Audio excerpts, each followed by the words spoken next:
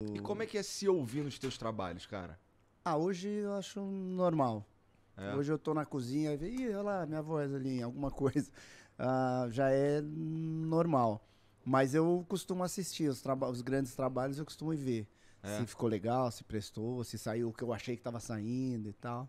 É, geral, assim, eu nunca. Bom, primeiro que a, a dublagem brasileira, ela já é bastante. é, tem uma reputação muito boa. Sim. né? Dublagem brasileira em geral já tem uma reputação muito boa. Dentro da reputação muito boa da dublagem brasileira, tem uns caras de um renome destacado, né? Aham. Tem você, tem o Briggs, Aham. tem, tem vários caras assim que tem, que tem, uma, que tem uma reputação. Então, assim, é.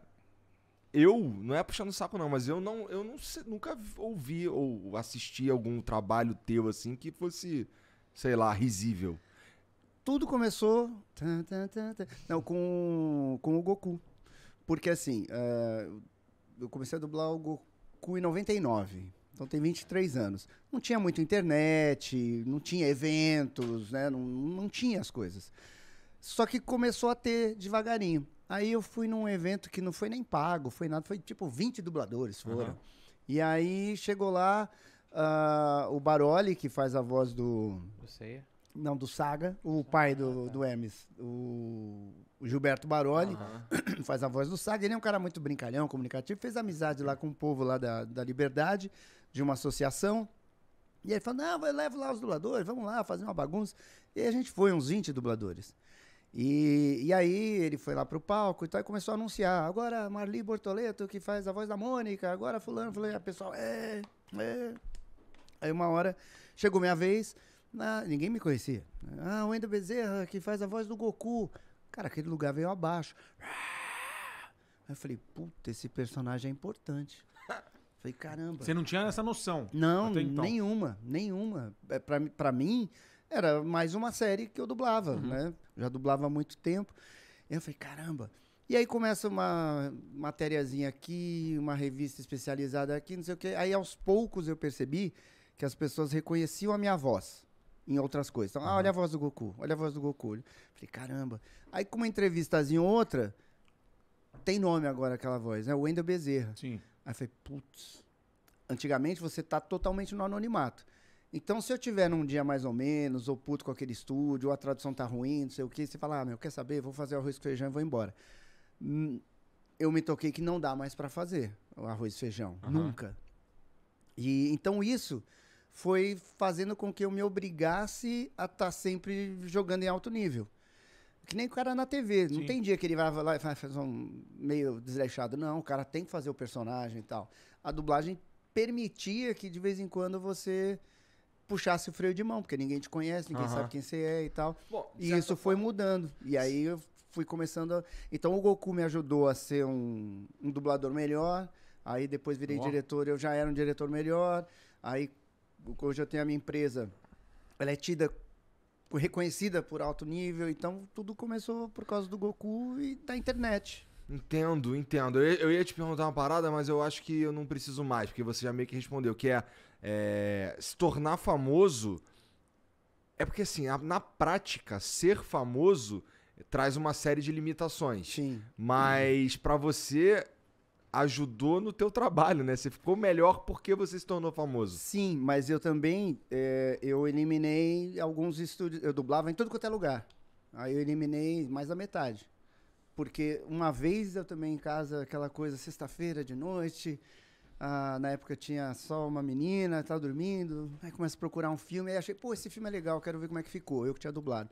E eu dublei em dois estúdios diferentes, o mesmo filme. E aquele era de um estúdio pior, vamos dizer assim. Tá. Cara, quando eu assisti o filme, falei, pô, vou ter que parar de, de trabalhar em alguns lugares. Tudo era ruim na dublagem. Tudo. Caramba. Tudo. Até as placas, Sim. sabe? Saída de emergência. Tudo era ruim. Aí eu falei, porra, se eu quero vender que, Exato. que o meu trabalho tem qualidade, que o meu estúdio tem qualidade, eu tenho que me separar de determinados trabalhos. E aí, então, eu, eu diminuí o meu volume de trabalho por um tempo, ah, justamente para tentar me manter Mas em a- alto nível. né? Essa questão aí de se ficar mais conhecido, o o Emílio sempre fala. Quanto. É, eu não gosto de audiência, porque quanto mais gente, mais encheção de saco. Emílio. É, a galera começou a te encher o saco. É, por exemplo, é, o Dragon Ball.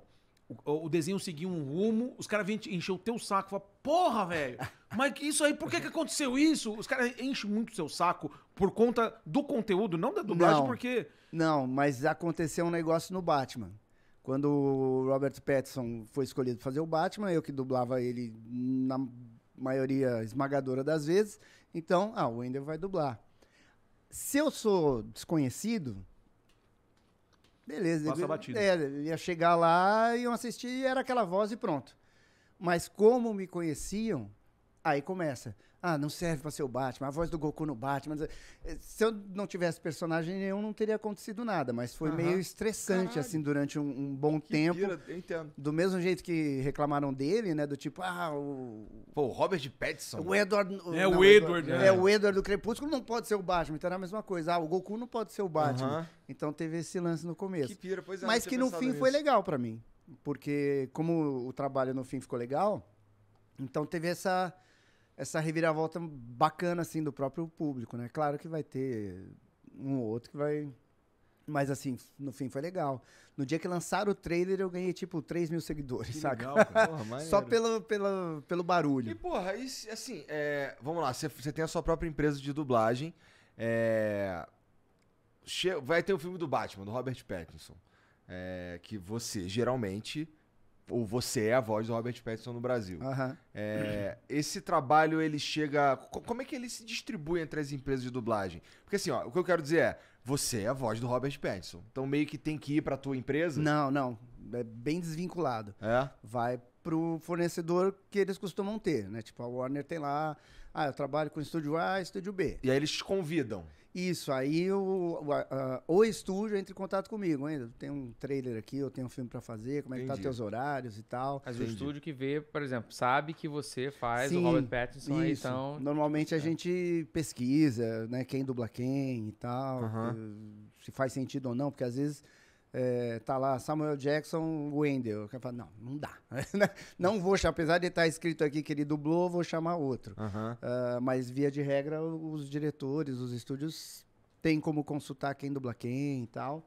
E, e aí o estúdio entra em contato. Aí o ator pode ou não pode. Quer ou não quer. Existe tipo acordo de cavalheiros, assim, sei lá, chegou pra você um personagem que você sabe claramente que é de outra pessoa. Aí você fala, não, seria melhor. Tem, tem dublador que tem essa, essa postura ética, sei lá, Uhum. né? É, e tem uns que não querem nem Tem os saber. fominha, né? Ah, não quero nem E, saber. e Vou- aí o lance, o pessoal, porque o pessoal fica puto. Ai, ai, agora foi minha vez É. de chutar. Legal, perdão. Faltam dois. Desculpa. É. Tem, tem, tem essa questão que a turma fala da patota, né? Ou, Wendel, por favor. Sou um cara discreto, sou discreto. Tem um lance da patota que a galera fala assim, não, porque tem a patotinha. Porque ao mesmo tempo que muita, muitos dubladores a gente vê reclamar, que fica bravo por, por exemplo, ah, chamou o Danilo Gentili, que não é um cara que, que é dublador, ele é, é, um, um artista conhecido, um comediante, aí a turma fica puta. Ah, por que, que não chamou um dublador? Mas ao mesmo tempo tem a questão da patotinha, que sempre Aham. são os mesmos. Como que você enxerga esse lance aí? Ah, vocês têm tempo? Pô, vou aproveitar o banheiro com essa dele.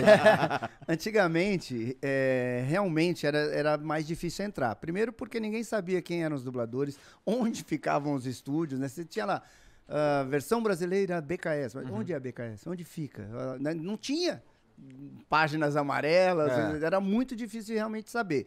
E quando alguém conseguia chegar e tentar entrar, ah, os dubladores mais antigos, porque era um volume de trabalho infinitamente menor né? Você dublava para as TVs abertas Sim. e não tinha esse volume todo. E era muito sazonal. Então tem trabalho, tem trabalho, acabou. Tem trabalho, tem trabalho, acabou. Era muito perrengue assim. Aham.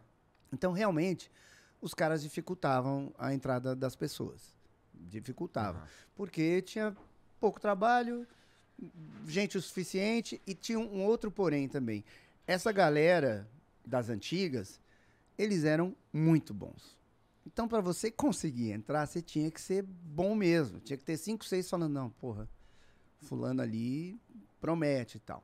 Então era mais difícil entrar. Hoje é infinitamente mais fácil.